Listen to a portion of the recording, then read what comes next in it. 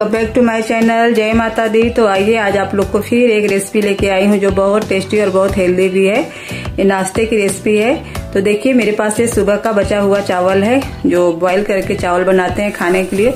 वही चावल बच गया था। मैंने सोचा इसको फ्राइड राइस बना के खाएँगे, मगर मैंने सोचा, नहीं, चलो, कुछ आज अलग बना के दिखाते हैं आप लोग को भी और हम लोग भी खाते हैं कुछ अलग। तो इस तरह से मैंने चावल को ले लिया था, दो कटोरी नाप करके। ये दो कटोरी ही चावल है। इस तरह से आप लोग भी अगर बचता है चावल तो उसका उपयोग कर सकते हैं। बिल्कुल अच्छे तरीके से ये चावल खपत हो जाएगा, यानी आप लोग का ये चावल परफेक्ट अच्छे से नाश्ते में यूज़ हो जाएगा। तो इस तरह से मैंने दो कटोरी चावल लिया था। उसमें एक कटोरी भर करके दही डाला और एक कटोरी ही बेसन डाली हूँ। और डाल करके इसको ग्राइंड करूँगी अच्छे से। तो देखिए, एकदम ज़्यादा पतला नहीं करना है, थोड़ा सा दरदरा ही रहना चाहिए।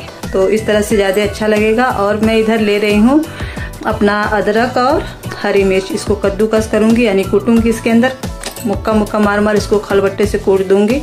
और मेरा कूट गया ये। अब इसके अंदर मैं डाल रही हूँ दो चम्मच मान लीजिए, ये जो टेबल स्पून होता है उस चम्मच से दो चम्मच सूजी। इसमें सूजी और भी आप डाल सकते हो, उससे और अच्छा बनेगा। मैंने सूजी थोड़ा कम रखा है।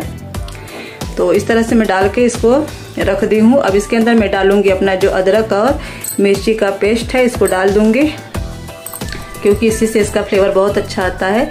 इसके अंदर मैं डालूँगी थोड़ा सा और मसाले ऊपर से। तो देखिए, मैं दिखाती हूँ आगे। इसके अंदर मैं डाल लूँगी जीरा एक चम्मच और इतना स्वाद अनुसार नमक, इसको डाल करके।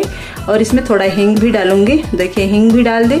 इस तरह से डाल के आप ट्राई कीजिएगा। ये चावल का नाश्ता बहुत अच्छा बनेगा और बहुत टेस्टी और हेल्दी भी लगता है। हेल्दी है।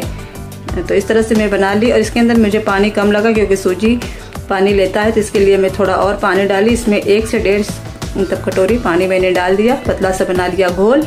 एकदम पतला भी नहीं करना है, एकदम रनिंग नहीं करना है मतलब मीडियम रखना है। तो इस तरह से मैं थाली ले रही हूँ। थाली में पहले मैं लगाऊँगी इको बेक पेपर इस पेपर से बनाने में आपका परफेक्ट बनेगा। अगर आपके पास एक कोई बेक पेपर नहीं तो आप इसके अंदर ऑयल भी लगा के बना सकते हैं, बिल्कुल अच्छे से बन जाएगा। तो इस तरह से मैं पहले ट्राई कर रही हूँ पेपर लगाने का। तो देखा मुझे नहीं लग रहा है, फिर इसको मैं कटिंग की कटिंग करके फिर बीच में फैला ली। इसके अंदर मैं डालूँगी मीठा सोडा आपके पास मीठा सोडा नहीं है तो आप इनो भी डाल सकते हैं और डाल के तुरंत फेंट करके एक साइड से ही फेंटना है और फेंट करके फिर इसको मुझे थाली के अंदर डाल देना है। तो देखिए, इतना ही पतला रखना है, ज़्यादा पतला और ज़्यादा गाढ़ा नहीं करना, इतना ही पतला परफेक्ट है। तो इस तरह से बनाइएगा ट्राई कीजिएगा, बहुत अच्छा आपका नाश्ता हेल्दी सा बनेगा और आप इसको सुबह शाम जिस टाइम भी बनाना चाहे बना सकते हैं। चावल अगर आपके पास बचता है तो उसका उपयोग करिए। अगर नहीं बचता है तो आप बना के एक बार चावल बचा कर उपयोग करके बना के देखिएगा, बहुत टेस्टी और हेल्दी भी नाश्ता होता है। तो इस तरह से मैंने अपना रख दिया था। स्टीम के लिए कढ़ाई कढ़ाई में पानी डालकर गर्म कर ली थी। पानी में से भाप आने लगा। उसके अंदर मैंने डाला अपना ये थाली का जो बना के रखी हूँ इसको डाल करके इसको पका लूँगी। अब इसको छोड़ दूँगी थर्टी मिनट के लिए। 20 minutes later.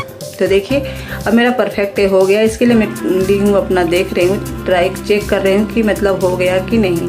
तो मैंने देखा इसमें नहीं चिपक रहा था। तो इसके बाद मैंने थाली से बाहर देखे परफेक्ट, एकदम ठंडा हो जाने दीजिए, तभी इसको खुलना है, नहीं तो ये नहीं खुल पाएगा चिपक भी जाएगा। तो ठंडा हो गया अच्छे से तो फिर मैंने इसको खोला, देखा, आराम से पेपर भी निकल जा रहा है और आराम से परफेक्ट बन भी गया है। इस तरह से बनाइएगा, ट्राई कीजिएगा, बहुत अच्छा बनेगा। अगर आप लोग चैनल पर न्यू आते हैं तो प्लीज़ चैनल को ज़रूर से ज़रूर सब्सक्राइब कीजिए, ताकि वीडियो आप लोग के पास मेरा पहुँचे। और नोटिफिकेशन के साथ सब्सक्राइब करिए ताकि जल्दी से वीडियो पहुँच जाए। तो देखिए, इस तरह से मैं पतला पतला मैं काट ले रही हूँ और इस तरह से पतला पतला ही काटना मेरा थोड़ा ज़्यादा पतला हुआ है। इसमें और ज़्यादा घोल डाल के बना सकते हैं, थोड़ा और मोटा होगा। तो इस तरह से आप जैसे सूजी को फ्राई करते हैं सॉरी इडली को फ्राई करते हैं, इडली बनाते हैं तो फ्राई करते हैं, उस तरह से इसका टेस्ट भी आता है।